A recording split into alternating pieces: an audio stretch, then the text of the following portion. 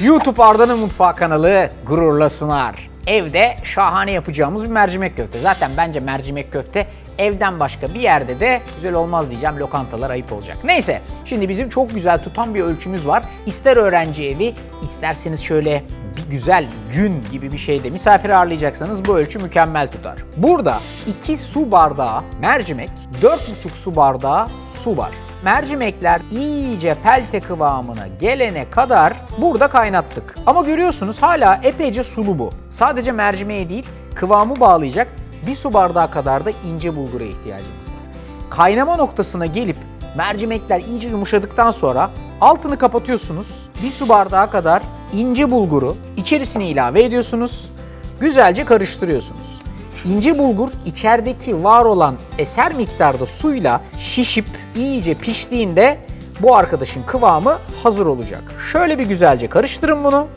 Kapağını kapatın.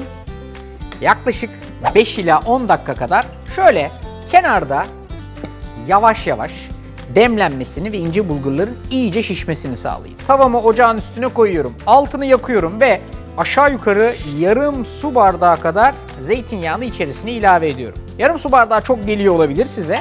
Ama mercimek köftesinin kıvamını bağlamak için zaten yağ ilave edeceğiz. E o yağı bari birazcık soğanı kavurmakta kullanalım. Yaklaşık bir tane irice boy soğan böyle gördüğünüz gibi yemeklik vaziyette doğradım. Yağın içerisinde hafiften döndürmeye başlıyorum.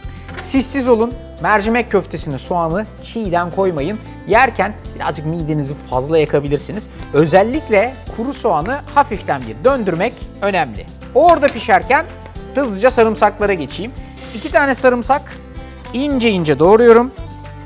Hafiften yumuşayan soğanların üstüne ilave ediyoruz ve şöyle bir tur çeviriyoruz. Şimdi bakın soğanlar yavaştan kendilerini bırakıyorlar. Asla böyle bir e, karamelizasyon işlemi istemiyoruz. Yavaş yavaş kendilerini bıraksınlar, iyice yumuşasınlar diye bekliyoruz. Bu arada taze soğanlara gelebilirim. Böyle 7-8 tane taze soğanı mümkün olduğu kadar küçük küçük doğramanızı isteyeceğim sizden. Ne kadar ince olursa o kadar iyi. Çünkü bunları pişirmeyeceğiz. Taze soğanı olduğu gibi kullanacağız. Açık renkli olan kısımlarını bolca doğruyorsunuz. Sonra uç kısımlarına geldikçe koyu renkli kısımlara yaklaştıkça körpe olan koyu renkli kısımları da alıyorsunuz. İyice kartlaştığını gördüğünüz şu uç kısımlarını eğer kartlaşmışsa oyunun dışına çıkarıyorsunuz.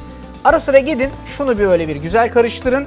Evet soğanlar yavaştan oluyor. Şimdi bunların içerisine bir yemek kaşığı kadar biber salçası ve bir yemek kaşığı kadar da domates salçası ilave ediyoruz. Salçaların kokusu çıkana kadar kavurmak lazım. İyice burada soğan ve sarımsakla kendilerini bırakınca bu arkadaşların işi tamam. Gelelim bütün bunları birleştirmeye. Bir tane derin bir kase alın veya tencerede de yapabilirsiniz. Bu kavurduğunuz soğanlı sarımsaklı salçalı karışımı bunun içerisine alın. Siz zaten bütün bu işlemleri yaparken diğer tarafta yani tencerenin içerisindeki mercimekli ince bulgurlu karışım da oldukça sertleşti. Yani bakın içine koyduğumuz bütün suyu oh fazlasıyla bak bak ince bulguru nasıl çekmiş. İşte buradaki su kıvamı o yüzden önemli. Kupkuru bir vaziyette bırakırsanız ince bulgura şişecek herhangi bir su bırakmamış olursunuz. Hafif nemli bırakırsanız şişer ve yoğrulma kıvamına doğru ilerler. Bir mercimek köftesi olması için buna birkaç tane daha küçük ilavem olacak. Onlardan bir tanesi işte buradaki taze soğan. Hali hazırda sıcakken koyarsam bütün karıştırma işleminde taze soğanın birazcık o var olan ekstra diriliğini de almış olurum ama çıtırtısını kaybetmemiş olurum. Ve tabii ki bunun içerisine baharat. En yakışan baharat nedir? İşte burada kimyon. Kimyonun çok bir ölçüsü yok ama hani bir çay kaşığından bir tatlı kaşığına kadar ne kadar isterseniz işin içine koyabilirsiniz. Arkasından bir parçacık daha pul biber ve tabii ki her zaman olduğu gibi baharatların ağ babası tuz ve karabiber. Sadece tek bir küçük dokunuşumuz kaldı. O da işin içerisine koymamız gereken maydanoz. Şöyle yarım bağ kadar maydanozu alıp ince ince doğrayacağım. Arkasından bu karışıma ilave edip elimi yakmadan güzel güzel yoğuracağım. Ne kadar güzel yoğurursam o kadar güzel bir mercimek köftesi kıvamı elde etmiş olurum. Valla mercimek köftesi sevilmez mi arkadaş?